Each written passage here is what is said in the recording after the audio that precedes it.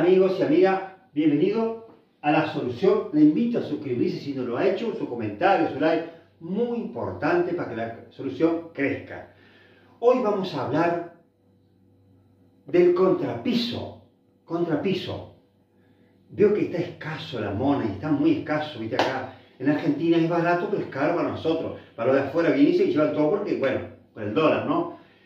Eh, voy a hacer un comentario, no voy a dar nombre porque es un, como que dice, un compañero de youtubers. Me sorprendió, pero es arquitecto, señor. Le hace una pregunta, le hace una pregunta este, un seguidor. Arquitecto le dice, eh, lleva eh, hidrófugo el, el, hormigón, el hormigón. No, dice, le dice él.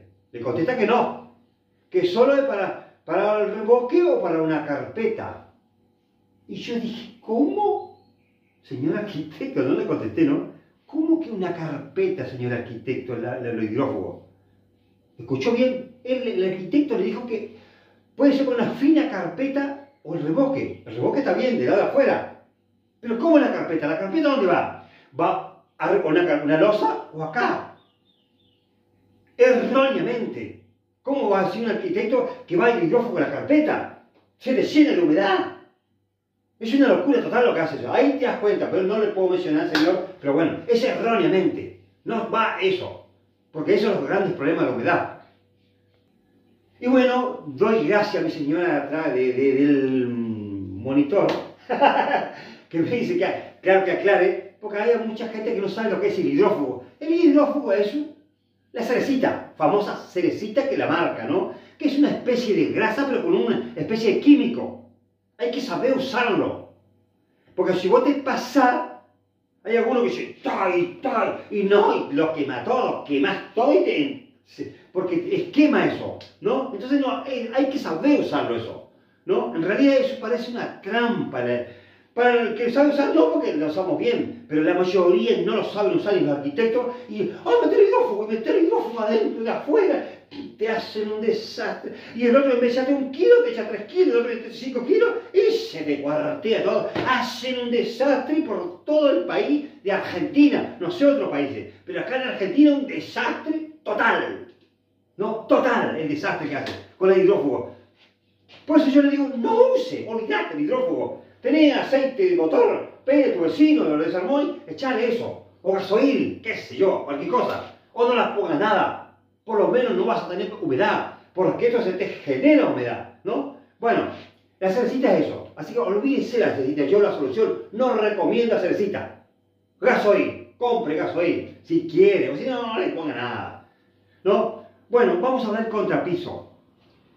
Porque muchos me preguntan, che Hugo, ¿puedo hacer contrapiso de, con piedra porque no tengo cascote? No, no puedes hacer internamente en el interior con cascote, con, digo, con piedra, porque te genera humedad, ¿no? Pero no tengo cascote. Bueno, hay otra. ¿Tenés tierra? Bueno, la tierra. ¿Sí? Ahí vamos a mostrar la ilustración cómo podemos hacer el, el piso de tierra. La idea es que no tenga humedad. Porque si vos no tengo no, no, no, hagas nada eso. Va el nylon abajo, no. Tiene que ser absorbente, todo es una esponja, todo internamente. ¿Sí? Vamos a ver la imagen. Acá vemos el hormigón armado adentro del interior, que es incorrecto eso. Acá también vemos el interior con nylon abajo, incorrecto por la humedad. Y acá lo que usamos siempre es cascote con cal, que es lo adecuado. Si no tenemos eso, podemos usar tierra negra o la otra tierra que generalmente sacamos de la roja, que le decimos. Después es de expandirlo, ponerle 20 baldes de, tierra y un balde de cemento y apisonarlo bien, humedecerlo con lluvia, así como decirlo. Luego la carpeta de cal que se usa comúnmente para hacer una carpeta.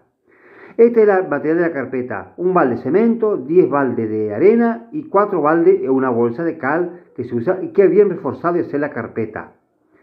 Este es el alisado estando fresco. Tiene que estar fresco la carpeta para usar cualquier cemento blanco, negro o ferrite de color que se hace y se pasa a la llana, se esparce el polvo y por detrás se pasa a la llana y queda bien alisado multicolor.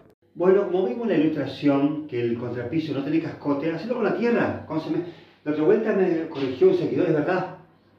Yo le decía piso de cemento, piso de tierra, porque me acuerdo que mi ex suegro que falleció, el señor, hace mucho, un señor, que era el abuelo de mi hijo más grande, que, y, lo hizo en una casilla. La verdad, espectacular. Subí en auto ahí. Una maravilla. Claro, me dice suelo cemento, es verdad. Eh, tapia, o suelo cemento. La verdad que es, así, tal como lo dijo este seguidor. Pero es muy bueno. Y él se puede hacer lisado. Yo recalco que si, si hacer el contrapiso de tierra, que es cemento y mezclado con un poco de tierra, ¿no? Vamos a las proporciones, ahora le damos las proporciones así. Eh, le podemos hacer la carpeta, ponerle con cal si queréis vos, con cal. Pero así como mostré en los videos anteriores, que eh, primero se le pasa la regla, la cal, ¿no? Eh, arrasarle así, trae con las reglas, ¿no? vamos acá, eh, arrastrando la cal bien blandita, ¿no? Y después le hace un poquito de cal para atrás y luego ya para atrás de vuelta. Y te volvés detrás de la cal de vuelta y arrasar, así, ya, ya no le está, fratacho. Muy bueno, tenés que esperar que tire, ponele eh, ese día, ese día, espiar, o sea, a de la mañana sería bueno.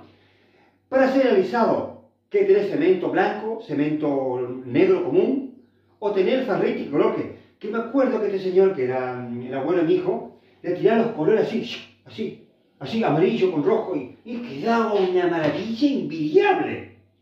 Un lujo impresionante.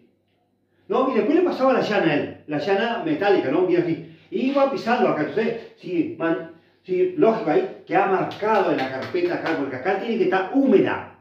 No que usted lo humedezca, sino húmeda porque no se secó todavía, porque está tirando, como quien dice. Marca su pie acá, bueno, usted agarra un poquito lo, la tacha bien acá, bien cachito, calma, y sigue a donde pisó hasta que termine el, el alisado, así, como el color que usted se le antoje, ¿sí? Eso es muy bueno. Bueno, queridos amigos, espero que les haya servido el video. Si usted hay muchos seguidores que me convidaron un té así grande y otro un cafecito. Así que no doy nombre porque yo me, olvidé ya, ¿no? Eh, así que usted si quiere colaborar con el canal, muy agradecido. Y hay un tóxico que dice que me mandó a laburar y ya estoy trabajando. Y la verdad me dice mi señora que vos Siempre recordás que tenés que comprar celular, que tenés que comprar ese coso aro que me está alumbrando ahí, el trípode, el enchufe, el mouse, el tanta porquería que hay que comprar hoy en día para, mandar video a ustedes. Pero cuando trabajamos al bañil nunca recordamos. Yo trabajé tres semanas ahora ahí, fundí una zapatilla, que no es caro, pero hay que fundir. Fundí dos pantalones y una camisa. O sea, por más que sea de segunda marca, sí, pero te lo se fue con la cal, eh, bueno, y yo no, no, no, no, yo cuando trabajo no camino así, ¿viste? No, no, yo soy una bestia. Yo, si tengo que levantar así, levanto acá al pie, ahí, voy allá. O sea, hay que laburar. yo lo si lo tengo que descoser acá, acá, lo descoso al toque ahí. Tengo que ser así, levantar bien así, ¿no? bueno, gracias, amigo.